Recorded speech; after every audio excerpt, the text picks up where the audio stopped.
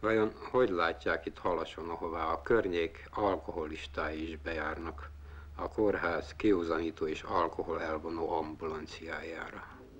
Valóban kevesebb a részeges ember? A fölmérések és a statisztikai adatok azok más mutatnak.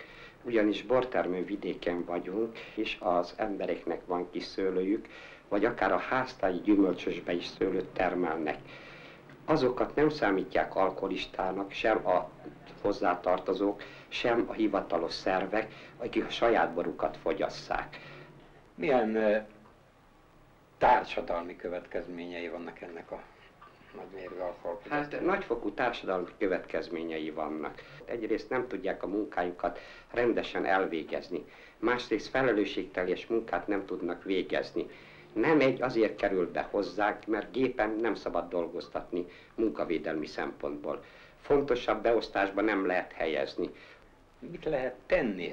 Általában nem csak nálunk, de országosan, sőt világszerte az a tapasztalat, hogy nagyon kevés százalék szokik le az alkoholról, illetve visszatér újra az alkoholfogyasztásra.